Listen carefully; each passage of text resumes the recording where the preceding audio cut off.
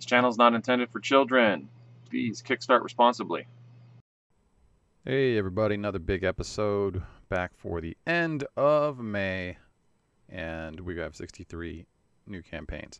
There are so many that in the middle of this I may have to stop, just as a heads up, uh, because Kickstarter won't let me open any more pages because there's just so much that has to get loaded in order to see everything. So that's an interesting one. They kind of do it all the time, but now they seems to be like they're really uh, being a hard ass about it. So we'll see where it goes.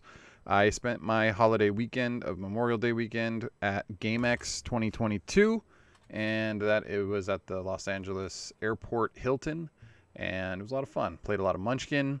Uh, I got to play some Monster Slaughter with friends, and also CIA Collect 'em All, or sorry, CIA Collection Deck, which is a Kickstarter game you should check out. I believe they released the PDFs if you want to do a print and play, and it's pretty fun.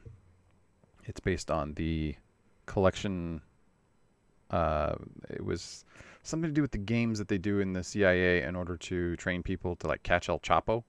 It has something to do with that. So it's a neat deal. Uh, like I said, collection deck, CIA collection deck. That's the one. And yeah, I didn't think I get to do any LARPing or any RPG stuff, but you know, we spent most of the time just playing Cthulhu versions of Munchkin, and that was fun. Good to hang out with friends for a couple days and uh, eat hotel food. So that was fun. Um, yeah, we'll see what's going on. First up in the board game column is Lift, and it is a game about ants. And as you can see, it has a terrible name because the name doesn't say anything to do with ants. Anything can be lifted, makes you think more about gravity. Uh, if it wasn't an ant on the cover, even though there is an ant on the cover, it might uh, confuse you. So I think that might be um, part of the problem. And the other thing is, you see how this here? I don't like this. Let me click on this so you can see my cursor. You, you just put your first name. A lot of people did that this week. Don't do that unless you have one name like Madonna or Cher. Put your real name, whatever you want it to be. If it's the company name or whatever, nobody's going to trust you if you're not willing to put your whole name on it. Now you can click on it and then see, oh, that's the guy's real name. But don't do that. I mean, you're not you're not really selling the game that way. Don't don't do that. Um, there isn't a lot of information as to how the game runs. Seems to be something about stealing resources, and the cards themselves have a lot of negative space, and that's not a really good aesthetic compared to the other things that are out there. So I think those are the things that need to be addressed on this game for it to hit that $5,000 mark, which is kind of rough. Um, it probably needs some more time with an art budget and uh, definitely a uh, name change. Then we have a code breaking game called Cardle, which is about people competing to break codes. And um, yeah, so you can see there's different categories and how it all breaks down. I am not as into cryptography and that kind of stuff as the really crazy individuals are. Uh, it does offer head-to-head and team play, which is kind of neat in order to do the, the code breaking, but I don't know exactly how well um, this is going to be set up, how difficult it is, or how accessible it is. And you can check it out if you're into code breaking. Then we got a dice roller, but this time it's about jazz and jazz musicians. So it's called The Gig, the dice rolling jazz game. And one to four players, takes about 20 minutes to play. You get to uh, choose instruments, and as you can see, that's how the song breaks down, is depending on what you have in your dice areas. And that's neat. I don't particularly like these kind of dice games. Uh, the one that I have is Pulp Detective, and it plays very similarly. I know a lot of people do. It just wasn't my thing. Um, but it is an interesting theme, and I like that they're branching out into something that uh, you could play jazz music at the same time as you're playing the game, and it won't interfere, and you can really set an ambiance to it. So I like that idea. Then we have Sare, I think. Um, it is not sorry. It is a game about Egypt. Two to four players, so no solo mode, uh, unless they release some type of uh, expansion. And as we can try to find some components here to show you, it's got its own little pyramid board with different pieces for you to be able to see. And as you can see, they have a, a nice uh, Valley of the Kings style uh, card holder thing, which is kind of neat. Um, you got different Egyptian things. You can play it on Tabletopia. With Moon Knight coming out and having a lot with uh, all the Egyptian gods and stuff, I think this is a, a great time uh, to try to produce this type of content. It's kind of neat. Ankh and a few other competitors do exist, but this one is uh, neat that it's offering the 3D buildings and all the obelisks and that kind of cool stuff. So if you want to 4X style strategy game, then uh, maybe this will work for you. It's got push your luck and some other uh, neat uh, things to throw in with it. It's all on GameFound. Then we have Primordial about indigenous cultures, and that's neat and all, unfortunately. See that $50,000? Well, let's see if we can show you why it's not making it. Well, is it the box? No, box looks cool. Got a card, and it says it's created by somebody, uh, but not what they've done says they are good at something, but not necessarily a breakdown of the past things that they've created. And another card, and that's it. Okay, it's a card game. We're only going to show you two cards, and we're just going to describe things. We're not going to show you how it plays. We're just going to put a bunch of blocks of words. That is not the way to entice people to buy your game. It has everything else probably going for it. There's lots of neat things there. It says breathtakingly simple gameplay. Well, if it's so simple, why can't you show it? You understand? Powerful imagery, but you're only going to show two of the cards. It's just not living up to what it's promising. And if it did, I think it would hit some numbers, but it needs to bring that price down to closer to around 10 unless the art budget was so high that they needed it to be up to 50,000, then they need to show off that art so that people will want to have it and can see that that's the product that they're going to be getting. And uh, if they're doing a lot of tell not show, people don't show their cash. We have Court, the royally clever game, three to five players. It's only 15 bucks, which is kind of neat and plays in 30 minutes.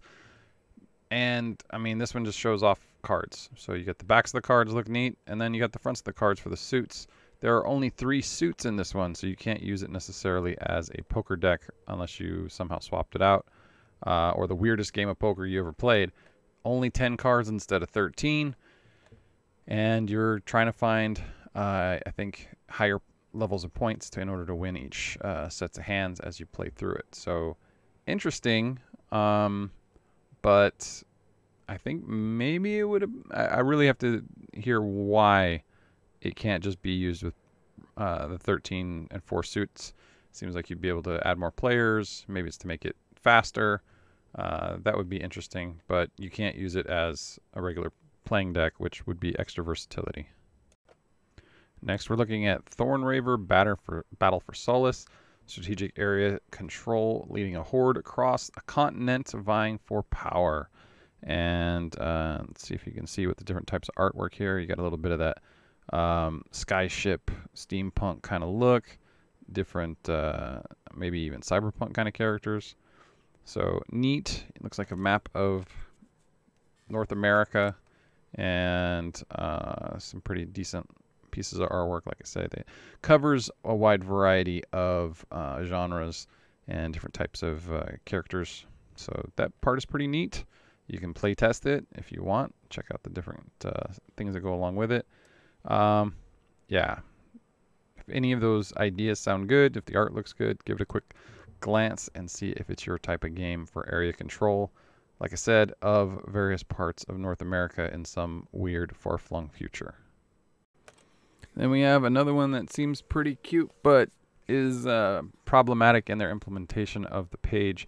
It's a Desire and Curse Intertwined. Um, yeah, it's it's a Gate of Desire. First off, put the name first. Gate of Desire. then all the extra stuff.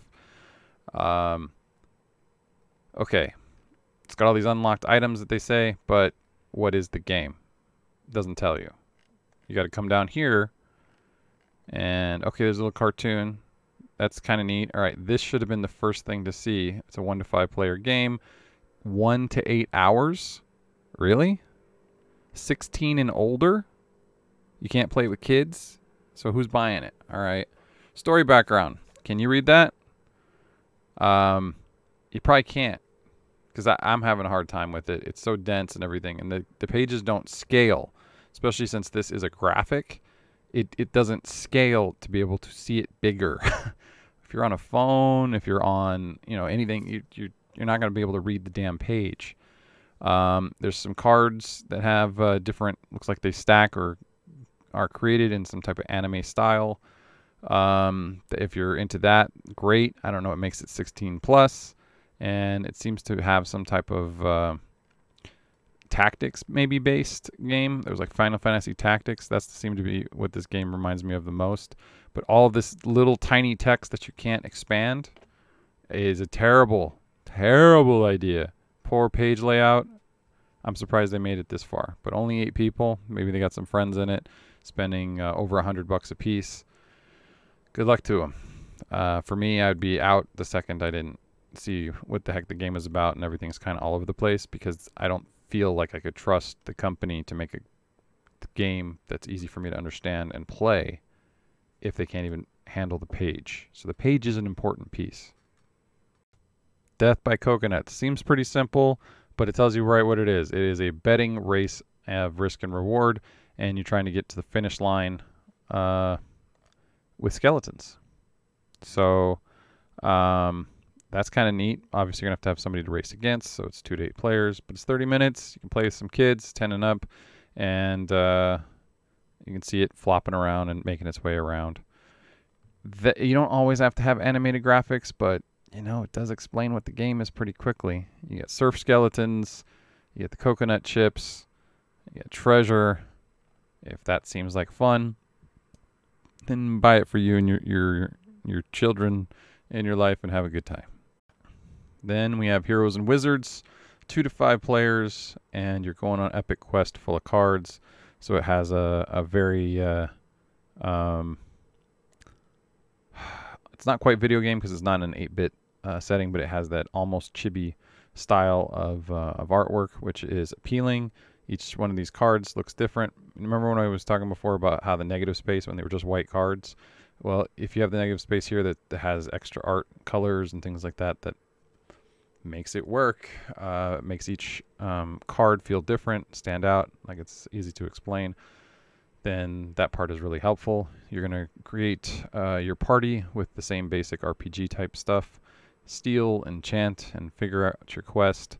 So it's a, an RPG light done in a chibi style that feels like a video game, and none of those are bad things. So as long as it's done right, Shovel Knight, uh, same kind of thing, reminds me of that uh, style of artwork. So if you need more of it, check it out. Otherwise, I guess one deck dungeon, things like that, maybe for more your style. Same kind of fantasy feel, but in a whole different way, more of a boondock style of artwork. We have the Amulet of Thrayax.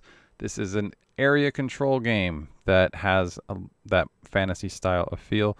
You can see you have a city area and you're going to be making your way around there. You are creating cults, always fun, and uh, making your way with different characters. I like that they have like the Thieves Guild style and uh, other different weirdos and things that you can put together.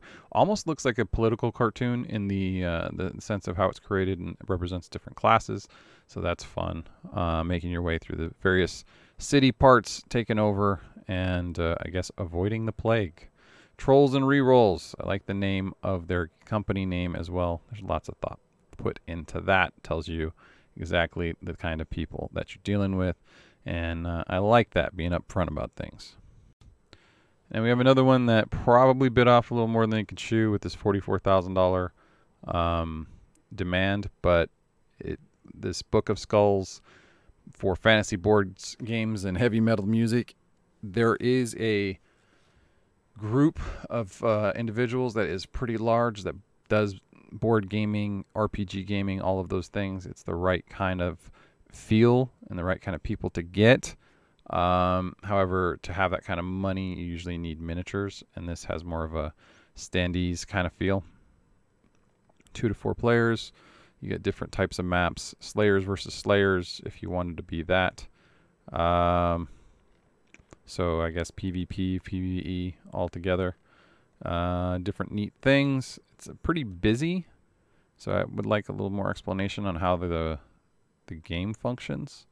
See how all those board? There's a lot going on there as far as uh, the the pictures and all that. And it seems to be like if you can take a look here, this pink and yellow. It looks like they're trying to maybe uh, evoke some Mork Borg uh, feel and bring people into it.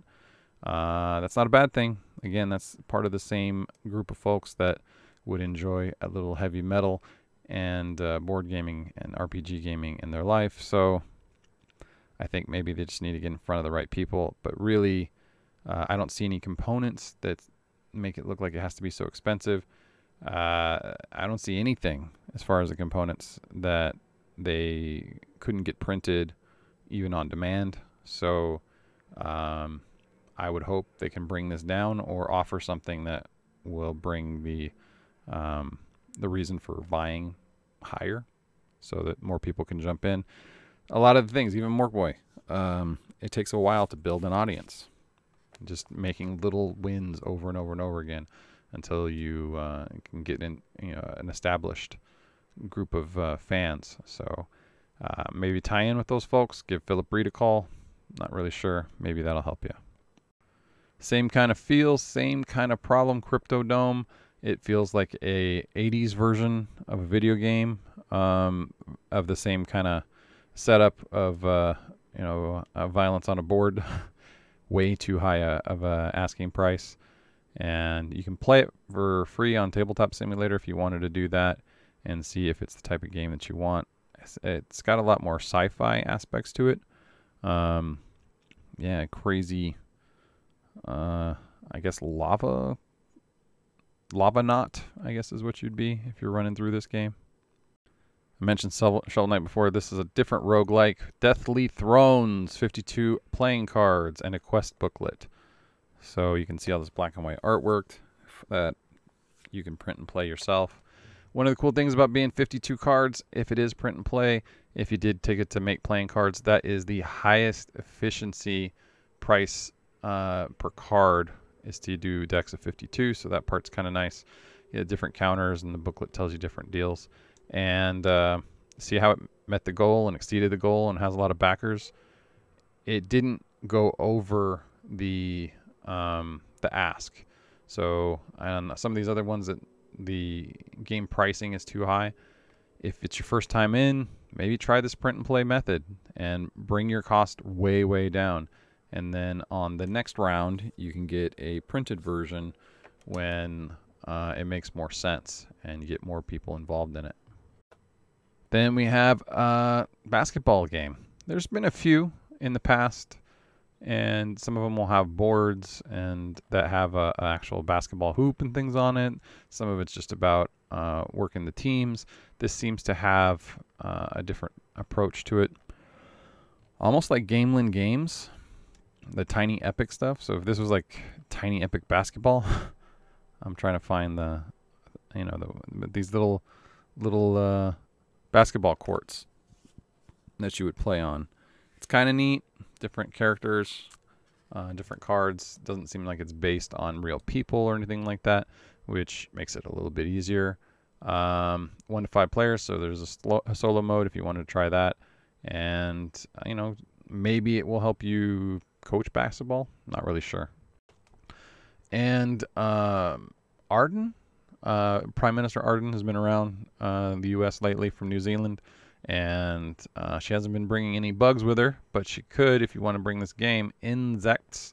So it's all about the bugs of New Zealand, and it's a print and play, roll and draw, simple, easy game uh, to make for yourself.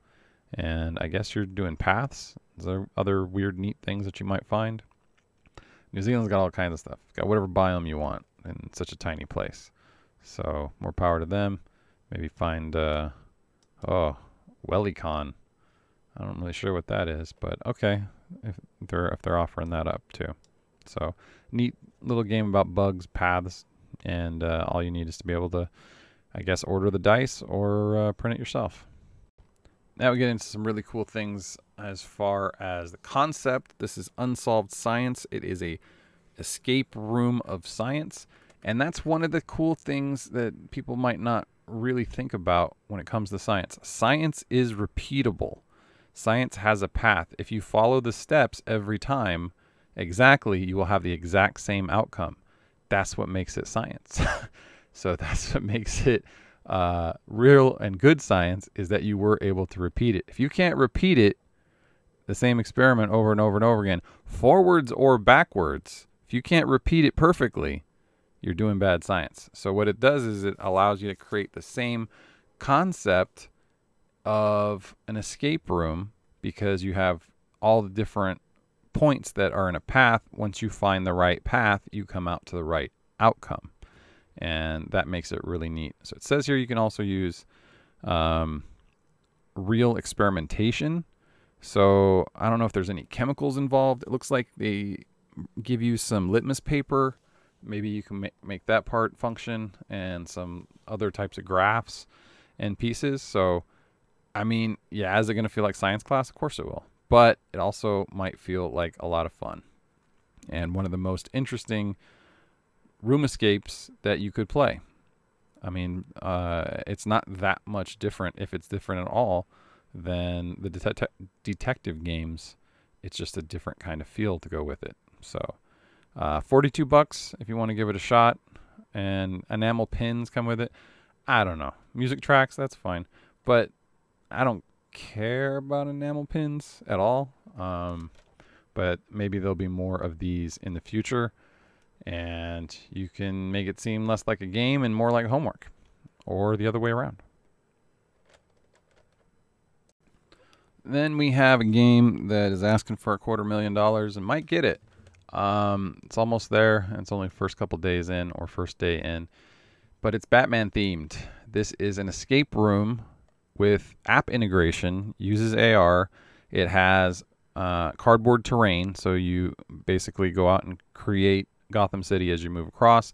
Has lots of physical pieces that are expensive that have to go with it. But you also have to have a tablet or a phone up all the time. Um, it is going to have all these different puzzles, like an escape room. It's going to have these Halloween mask things, if you uh, are into that kind of deal. And it is going to have a price tag to boot. So you can start it for two, almost 200 bucks. Um, but if you're going to get uh, the second version, I guess, there's multiple episodes. They're like 200 bucks a piece. It's very expensive because there's lots of pieces of art. There's lots of um, lots of things going on. Um, the people behind it, they've made some other. Uh, it's the first time on Kickstarter, but they've made some other games. The app integration is expensive. All the physical pieces expensive. That goes on to you. I don't know if it's going to make it to a store ever at that price tag, but if you wanted to run and play a Gotham based um, game where the Joker is coming after you and it's got all this cool 3D stuff, and you don't mind holding up your phone all the time, then maybe this is the thing you've been waiting for. For me, I'm going to stick with Monolith for right now, but uh, yeah, it's not a bad idea. Then we moved on to the miniatures games. This one is Heroes of the Old World in the Endo- Dead Court of the Dwarf Lord. I think it's more of a skirmish type game, and uh, you can see you get different miniatures and things to go along with that. So different characters. I'm sure you have to paint them yourself. But um, yeah, if you've been looking for more of a skirmish game, then uh, weird vultures and things like that, then maybe give this one a shot.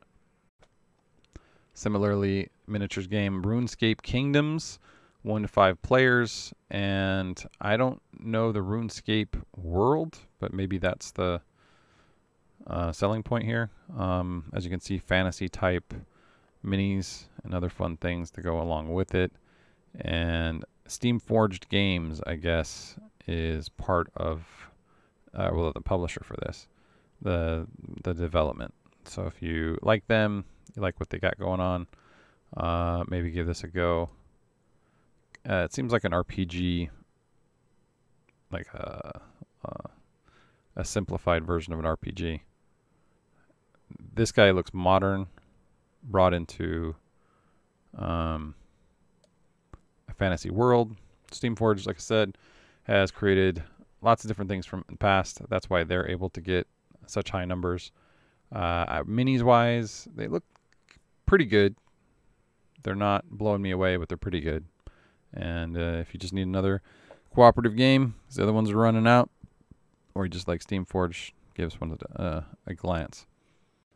I do not know how to pronounce this. Parteotates, Partutates, Par whatever. It's a uh, Gallic army, 10 to 28 millimeters, depending on your army. Did I see 15 at the top? Yeah. Also, you can get 15 millimeter scale, I guess. There we go. Chariots, um, spearmen, all that kind of stuff.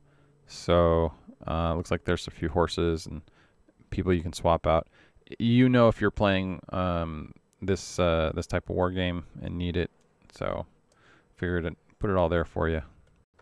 Franco-Prussian War, the other one, 1864. Uh, da, da, da, da, da, da, da, da, There we go.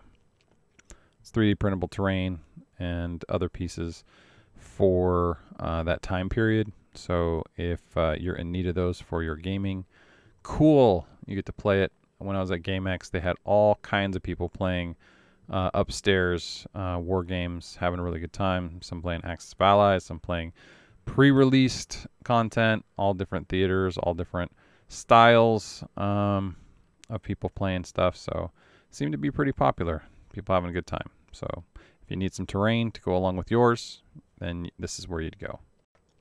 We have a hex, hex crawl now. Uh, this is the RPG side. Basilisk Hills. And yeah, Todd Lebeck. Again, put your whole damn name. You're not the only Todd. Um, and uh, just a breakdown of different things troglodytes, plateaus, uh, gangrenous orcs, if you need that kind of adventure uh, and you want to do it with hexes. Talked about Mork Borg before. Here it is Mork Borg, Adventure in Hardcover Growing Menace. And this is, you know, if you haven't seen it before, it takes place during the apocalypse. The world is breaking down, everything is screwed up. Um, it's, I think, OSR based and compatible. So this one is going to be print on demand. Tom Wilson's created a bunch of other pieces in the past for various games, and uh, you can find more here. Same thing, Mork Borg. Now we have CY_BORG. This is the sci fi version of it, still in the apocalypse, but now with cyberpunk. And it's all this, you know, uh, crazy high contrast artwork. It's like uh, color vomit at the same time. And, you know, just a, a neat style that goes along with it. If you like the grim, dark, horrible uh, feel of what you find in Mork Borg, then maybe CY_BORG, taking it to the far future, is one another way to go about that. I don't think it's gonna be that far before we have to deal with uh, cyborgs ourselves, because medical advances are getting pretty far. But uh, you know, you get a head start.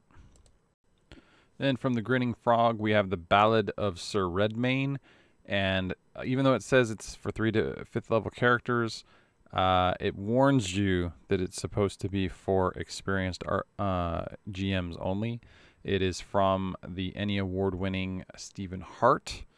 And I'm not really sure why. Maybe it's different themes.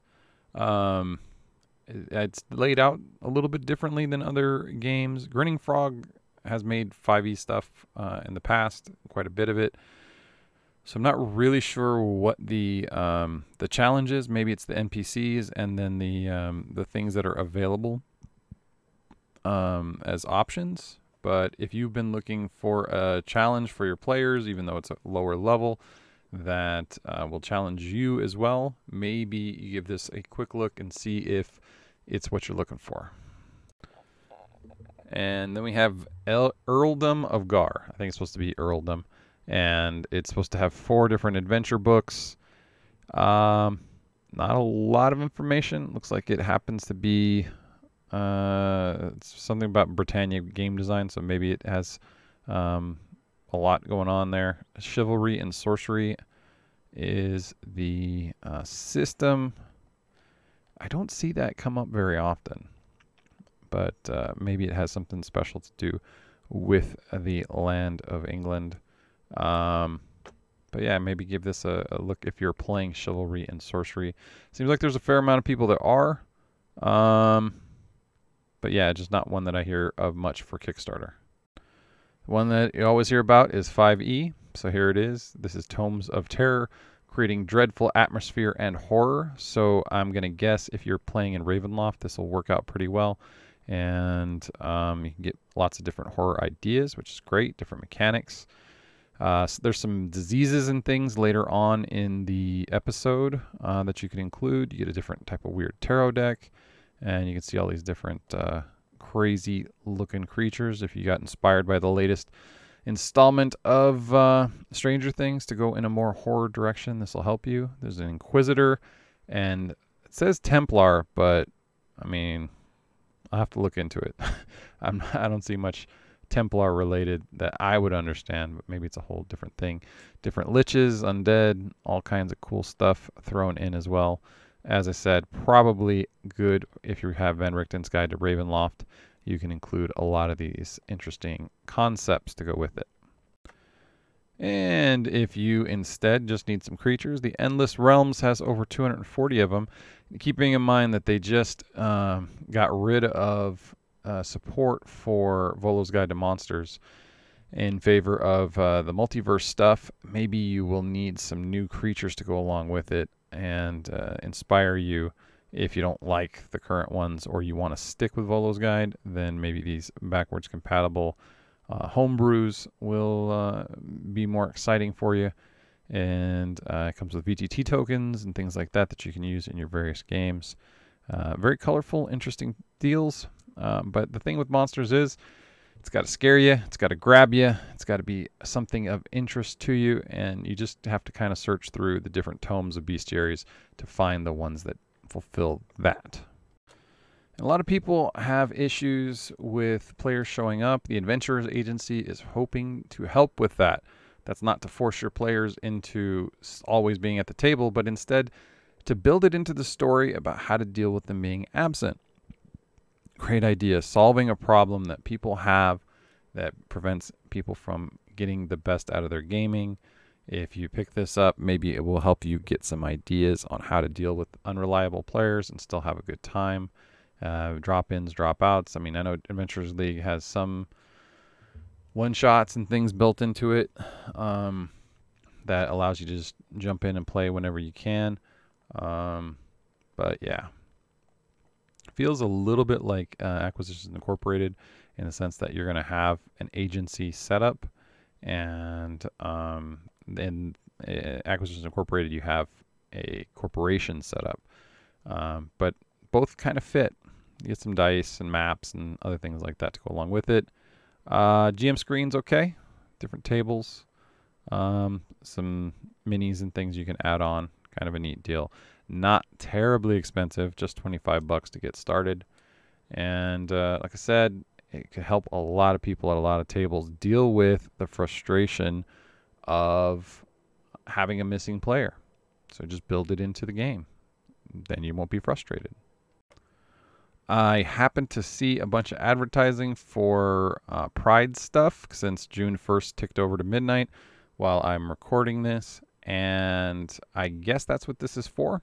This is a queero, which I guess is a gay or uh, lesbian or one of the other letters, hero thrown into it. Uh, I don't think it has to be specifically a particular uh, flavor of that uh, identity. So if you have a person in your life that maybe it doesn't feel included, you can bring them in. Uh, it says it has three subclasses cleric, ranger, and barbarian. I'm not sure how that all works in um, with the gender identity, but hey, maybe it'll help you create more stories. If you already are playing with gay characters in your stories um, or LGBTQ characters in your stories, then uh, maybe you can bring more in. It says there's a diva goddess, which is maybe like a drag queen cleric, um, the denizen conclave, and uh, which is about respecting everyone her rangers okay and then the unsavory environments of the path of the brawler Um, okay, neat ideas. Uh, eh, gay representation is a big deal, especially in uh, tabletop gaming.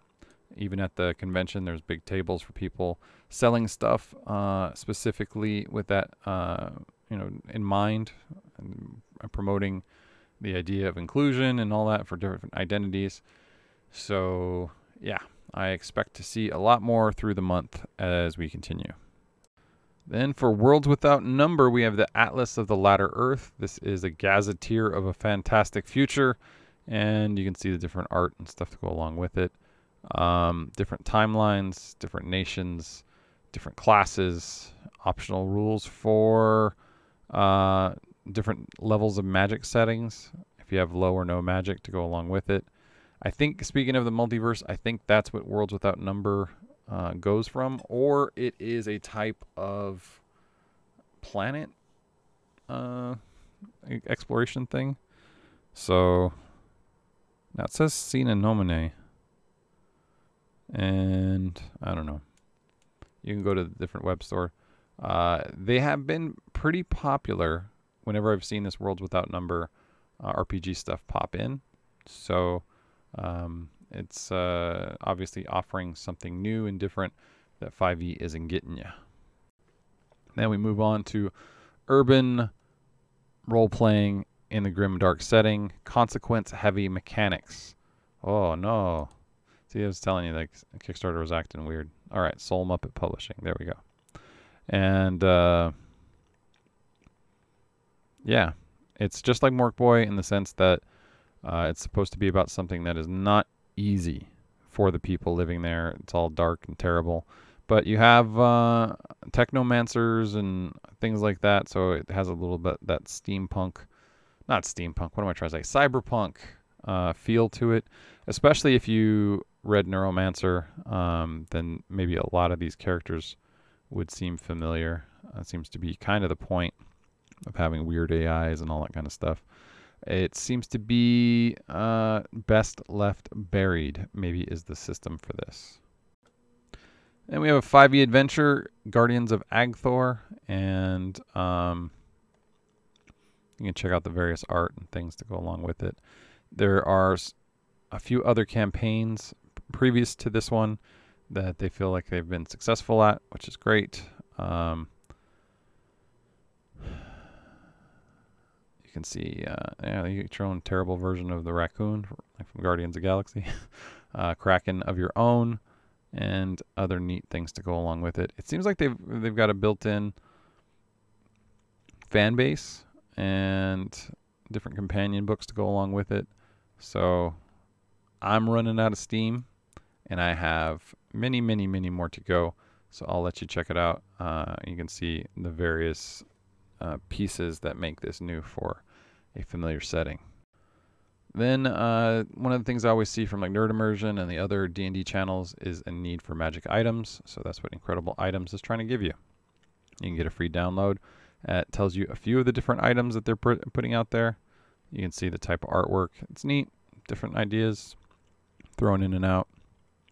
If uh, you need more inspiration, then you know give them a, a quick look.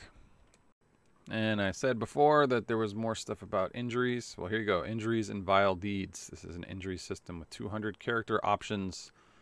Um, yeah, I mean, if you take the idea of getting hit by a dragon, you're probably going to have some lasting effects. Even if magic is involved, it might take a while to heal. And there's some ideas that were in Unearthed Arcanas that Mike Mearls had really early on. Uh, if you took more than 10% of your 50% of your de- your HP in one hit, then you'd have to roll on an injury table, things like that that are thrown in. Uh, how do different injuries that are persistent on your character affect you? The way you're seen by the world. How do they affect the way you think about your your life? I mean, if you read uh, Stephen King's The Gunslinger, one of the first things that happens is parts of his hands are taken away from him how does that affect someone who has to pull a trigger? You know, the whole Dark Tower saga is affected by that. And it's a great story. It's a great story arc. Um, maybe your players could have the same type of effect, having to deal with something persistent like that. So, just another way to flavor your characters. Then we have Lifted, which just like Lift, I think was a bad name because uh, it doesn't really say much about the characters and what you're going to be playing unless they can carry things or this is a dirty dancing uh, RPG. then it would make sense, right? Um, it's not. It's superpowers. So I guess the idea is people um, are called lifted. You know, just it seems like a stretch, a far stretch for an adjective, and uh, I don't know. Maybe certain cultures um, would use that word for for that exclusive meaning more often. Uh, I think maybe if it were in a religious connotation, it might make more sense. Um, but I just don't like the word. Doesn't mean that there's not people that are playing it. The artwork looks neat. It does look like a superhero system, but it just doesn't tell me how they got their powers or what the world has to do with it, uh, and what you're going to be finding and all that kind of stuff. So I, con- I commented on the name of the first one we looked at, very similar to this. So I figure I got to say something about it now. Um, primed by Cortex. Don't know what that means, but if you're already playing it, there you go. It says it's supposed to be like Wildcat, Stormwatch, early uh, image comics. And we have finally an adventure novel, a simple one Nellie's Nursery. You have a child with supernatural powers and a disturbing doll sized uh, or life sized dollhouse that you have to go through. Seems neat. Seems like something that would make a great Batman the animated series episode. Um, and I think might have already been one. And I remember something like that with the little doll character. It's pretty awesome. Zan's Adventures has come out with uh, these types of modules and things before out there on DriveThruRPG or the DMs Guild. You can check out what they've created. And uh, if they all tie together, cool. It's been a while since I've seen this particular layout. I'm talking like a year, maybe year and a half, maybe two years. So uh, it's interesting to see that they're back making stuff, and that's cool of them. Reign of Discordia, second edition, which is a little bit confusing because it's a fifth edition inspired game. So you have a two and you have a five, don't get confused. And White Star is another game system that you could utilize. So 10 years after the Stellar Imperium, blah blah blah. It's trying to be Starfinder for D&D. Um, give it a go if that sounds like what you need. I'm assuming that there's going to be another Starfinder game coming out from video games soon.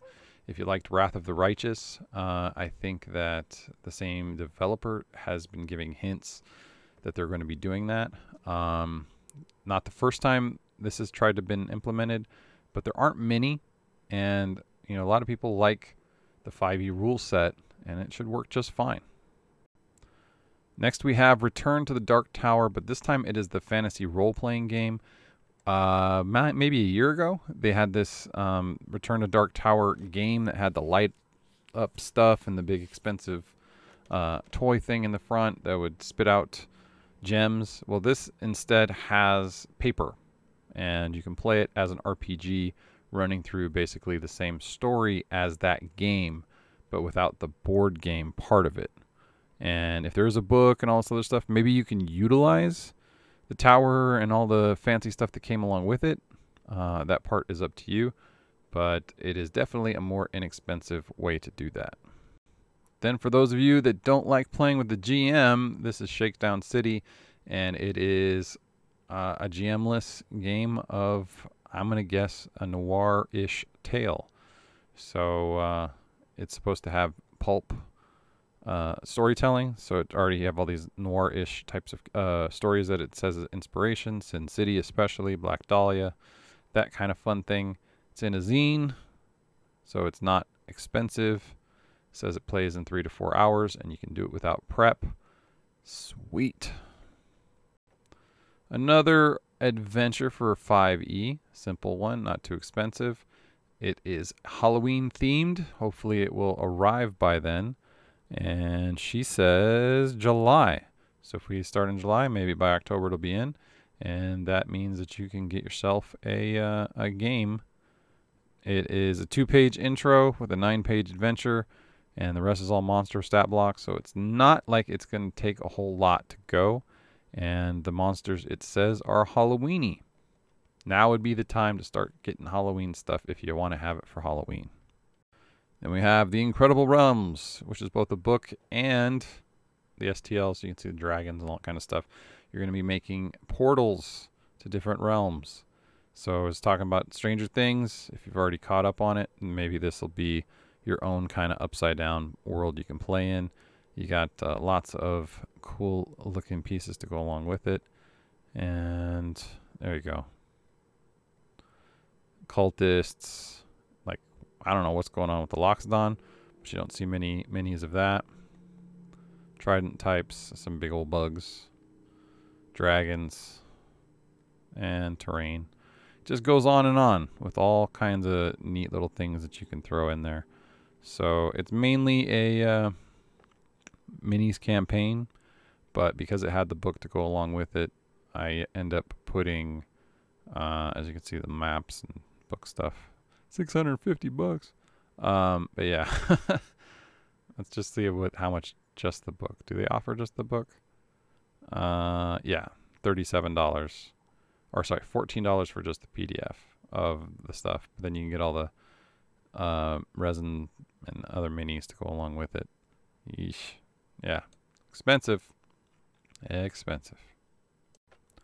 Then we have uh, a lost message saying that it is a mystery adventure like no other. If you saw Candlekeep Mysteries and you decided you want more, then maybe this one will help you out. Um, human missing in time, a half elf that must find her, a robot orc of some kind who likes to bake cookies. If that brings you in there, cool. Weird, weird stuff going on. I like mystery adventures, and I like it when you don't have to just fight stuff with an axe, that you have a variety of paths to solve, and uh, four bucks. Not too bad.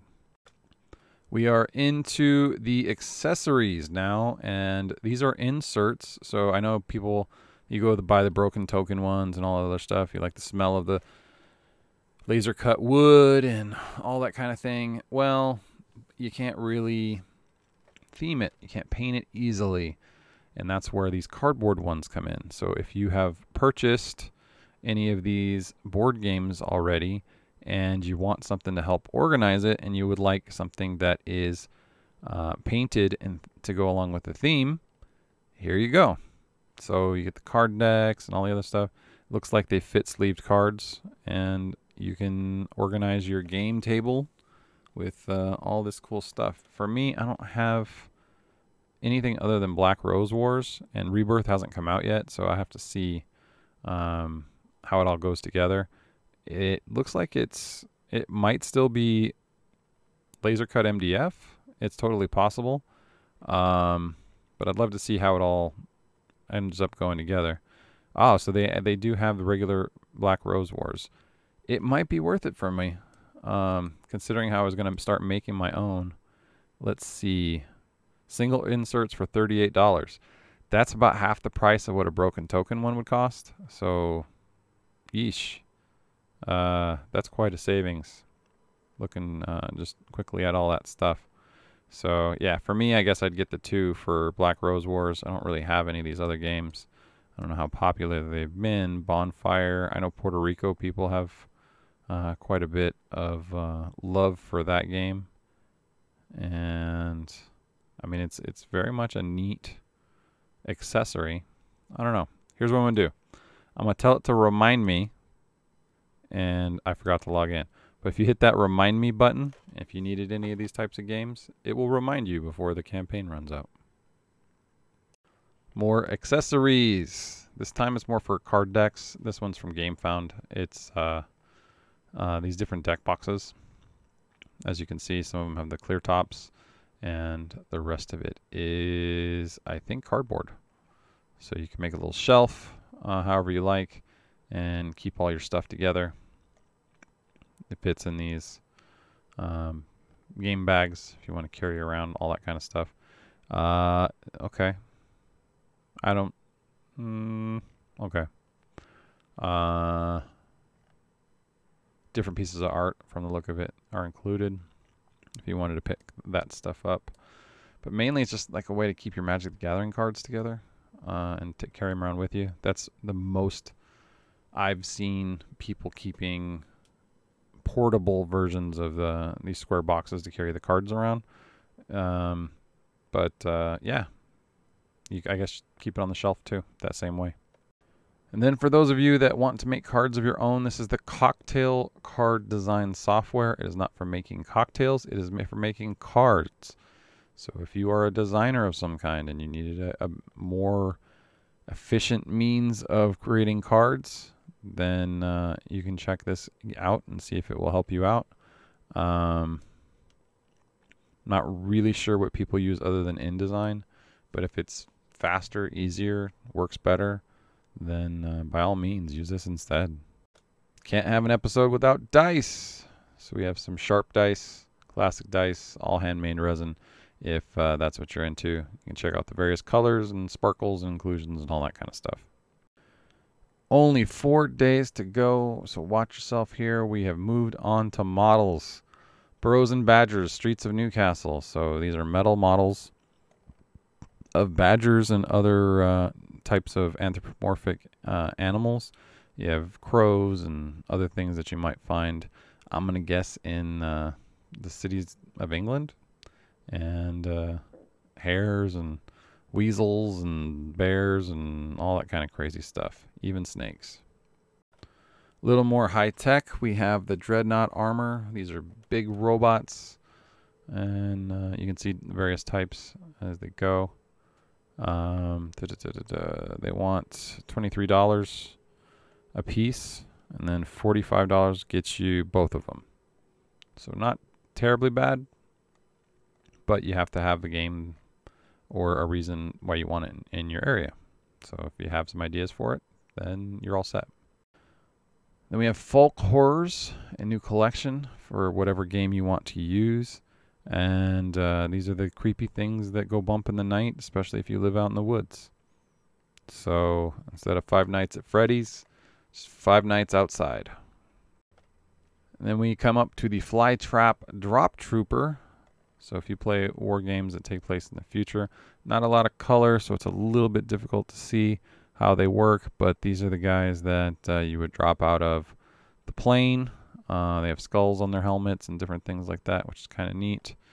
And yeah, uh, it would be nice to see a little more colored version, but um, that's not what they gave us.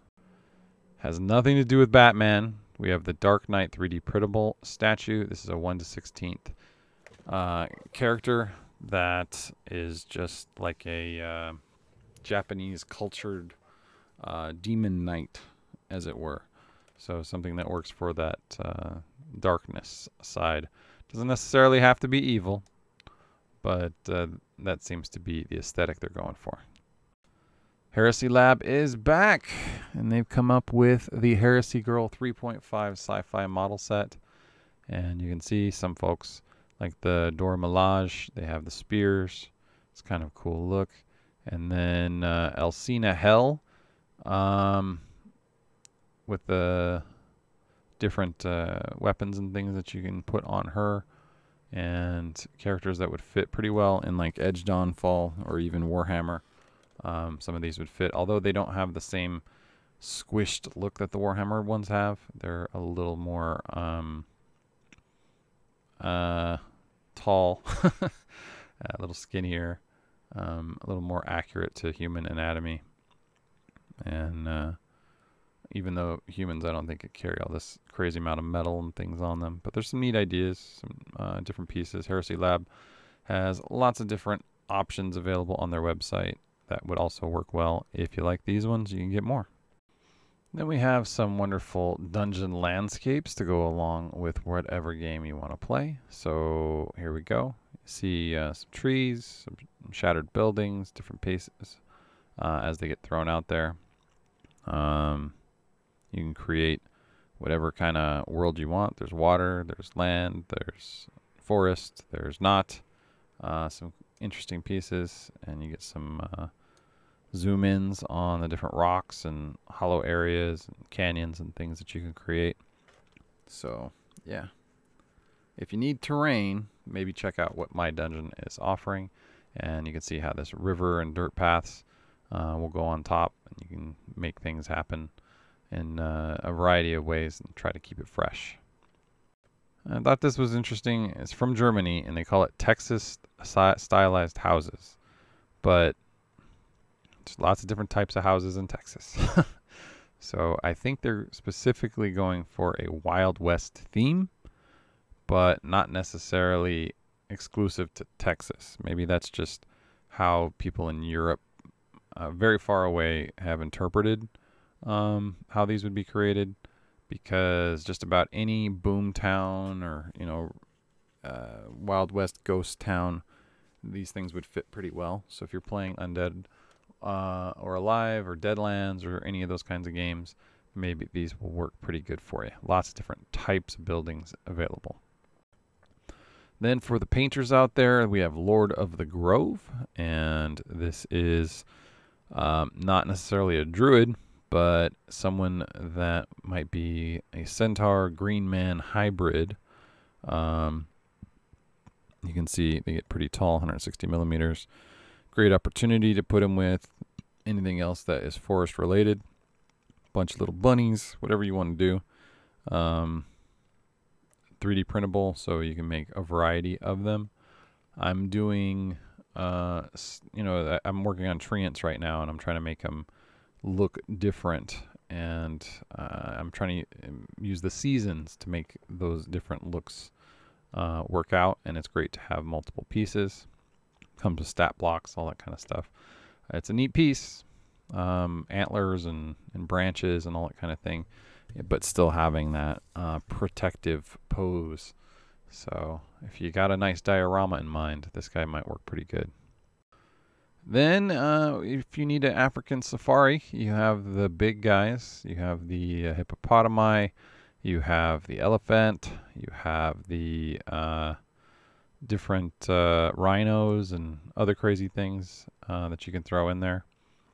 So, yeah, if you uh, need that African adventure, then you're all set. Maybe you want to go to the water, though.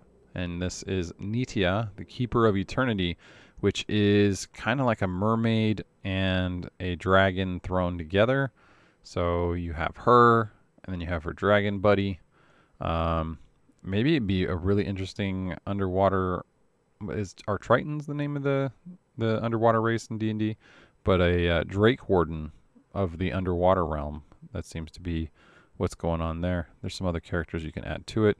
Uh, very um, underworld uh, path to Hades kind of style things that you might find in the abyss. So we'll move over to the future again. This is Project 45X, the abandoned biolab terrain. So there's some modular pieces that you can include.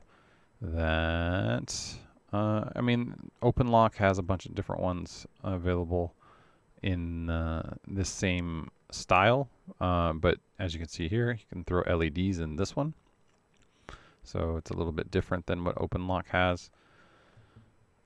18 previous campaigns, I'm going to guess that a lot of them have to do with building these uh, LED sci-fi bases.